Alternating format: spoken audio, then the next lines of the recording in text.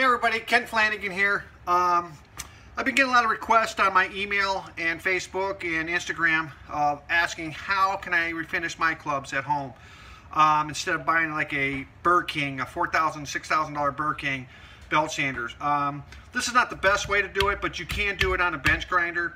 You just got to have a steady hand and just be really careful not to try to take a lot of material away.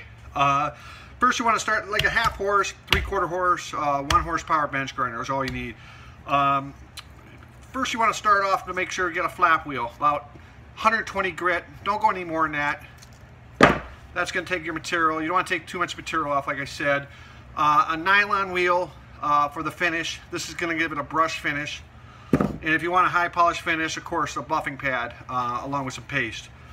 Um, make sure that you got safety glasses and uh, a, a respirator because you don't want to breathe this stuff in. This stuff is not good to breathe in. Um, and make sure you got some gloves on. Uh, the the club's going to get hot, and it's uh, also you don't want to bump the grinder with your hand. But the club I'm going to be doing is a Titleist Tour Tour model. It's a forged club. Uh, there's a lot of bag chatter. This has been stripped because this was chrome plated. Uh, and if it's stainless steel, nine times out of 10, there's probably nothing on it. So you can start right from there. So let's get started.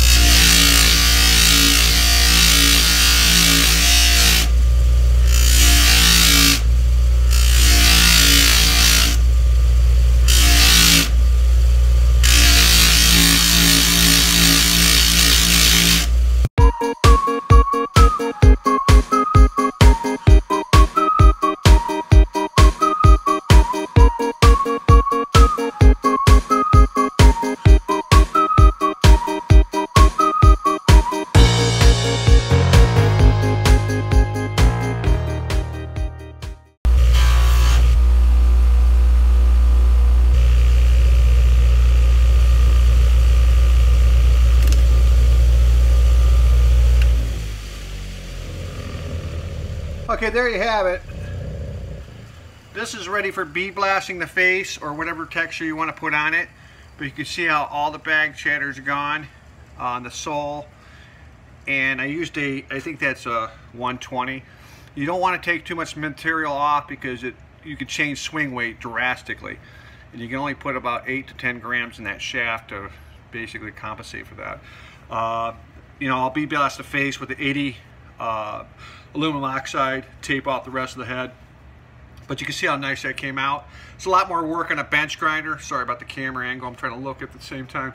Uh, sorry about the bench or the angle on the cameras and everything for the viewing, but if you could take a look at that, I hope you guys can see that. But it, it come out pretty nice. Uh, it's a lot faster like on a Burr King or a belt grinder. Uh, but this, this baby can do it. So uh, if you have any questions, please do a follow-up on me. Uh, uh, check out my YouTube channel. Uh, send me an email. Uh, I'd be happy to answer them. And take care for now.